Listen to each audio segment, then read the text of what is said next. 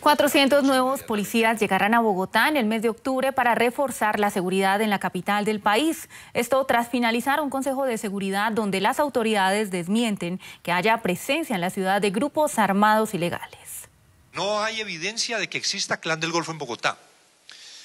Inteligencia militar, inteligencia policial no tiene identificada presencia del clan del Golfo en Bogotá. Así de contundente fue el jefe de la cartera de defensa, Iván Velázquez, tras las pancartas que se han observado en algunas zonas de la capital, alusivas a organizaciones criminales como el Clan del Golfo y las disidencias de las FARC, pues asegura que esto obedece a una presión publicitaria para lograr un reconocimiento político. Al término del Consejo de Seguridad en la capital, la mandataria distrital confirmó que a la ciudad llegarán 400 nuevos policías de manera permanente para custodiar a los capitalinos. Igualmente recibimos con beneplácito, es todo lo que quisiéramos, que 400 policías, esos sí permanentes, llegarán en el mes de octubre. La alcaldesa explicó además que una propuesta pasará al Congreso de la República para crear la policía local y equipos territoriales que sean los encargados de imponer las sanciones por convivencia. En una policía que se ocupe de ayudarle a la Policía Nacional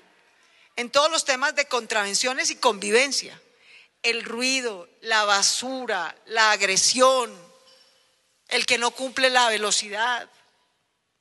Y también en combatir el hurto, el atraco, las lesiones, las riñas. Las autoridades confirman que para garantizar la seguridad en Bogotá es necesario aumentar el pie de fuerza con 2.384 policías.